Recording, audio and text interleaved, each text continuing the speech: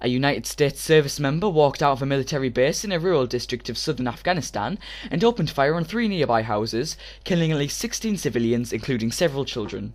The NATO led coalition said in a statement that a United States service member had been detained after an incident in the Kandahar province in the south of the country, and that a number of civilians had been killed. Villagers in the district where the shooting took place said the service member had attacked three houses, killing at least 16 in total.